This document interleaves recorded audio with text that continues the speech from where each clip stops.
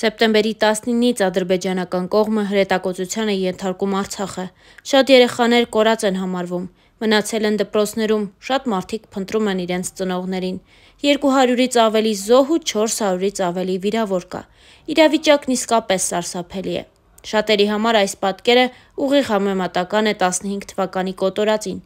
Հայ հայտնիներն, ովքեր ունեն անգամ մի քանի հազարանոց լսարան, գրում են, խոսում են, պատմում են ու խնդրում են միջազգային հարթակում արձագանք տալ այս ցեղասպանությանը։ Իսկ ահա մի քանի միլիոնավոր հետևորդներ ունեցողները գերադասում են լռել այս շրջանում։ Այսպես ասած, խնայում են իրենք իրենց հետևորդներին, Եղեռնի մասին հիշեցնող կադրերը չհրապարակելով։ Նրանցից մեկը հումորիստ Գարիկ Մարտիրոսյանն է, ով ունենալով մեծ լսարան, այն էլ միջազգային, որոշել է չխոսել իր հայրենիքի վիճակի, իր ժողովրդի ցավի ու թշնամու կոտորածի մասին։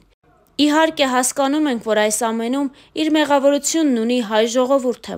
Հայաստանից հեռացած ու Ռուսաստանում իր կյանքը դասավորած բլոգերներին երկրպագելով, բայց սա իսկապես խայտարակություն է։ Միգուցե չափսոսալ եւ չվախենալ կորցնել ադրբեջանցի հետևորդների, որոնք ձեր լռությունը տեսնելիս եւս ծիծաղում են։ Ինչևէ, ներկայացնում ենք հրապարակումներ, որոնք այս ընթացքում անում է Գարիկն իր էջում։